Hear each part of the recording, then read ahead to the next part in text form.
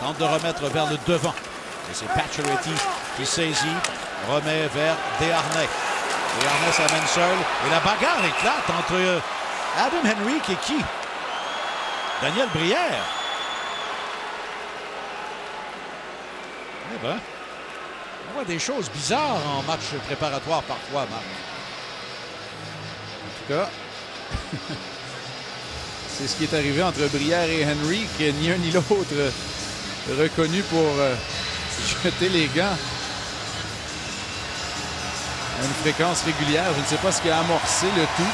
Il y a eu une mêlée devant Price suite au poteau frappé par Ryder, la passe tentée devant. Est-ce qu'il y a eu un échange entre les deux joueurs?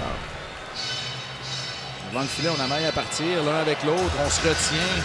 Double échec de Henry. Ah, il y a eu un coup de poing Ouais. visage également de Henry. Daniel, a pas- Daniel Brière n'a pas aimé.